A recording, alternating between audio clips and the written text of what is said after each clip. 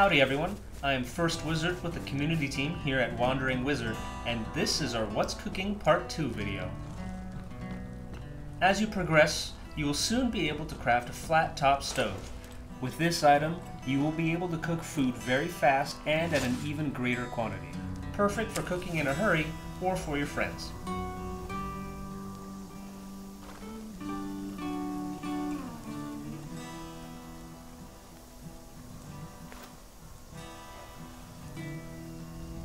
Now that we've explored the cooking options, we will definitely need a place to preserve all of our edible items. First up, you have the wood fridge.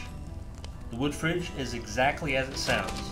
In order to make sure you are able to preserve your food, you will need ice.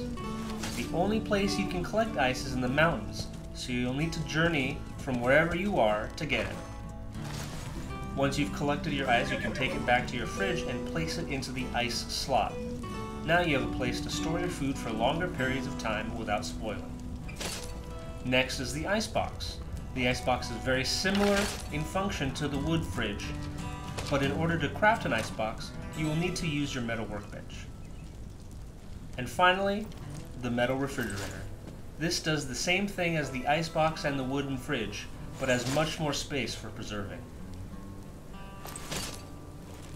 You can also decorate your kitchen with all of the essential cooking appliances and utensils, such as the frying pan, wooden spoons, and so on. Well guys, that's it for me. I'm First Wizard with the community team here at Wandering Wizard.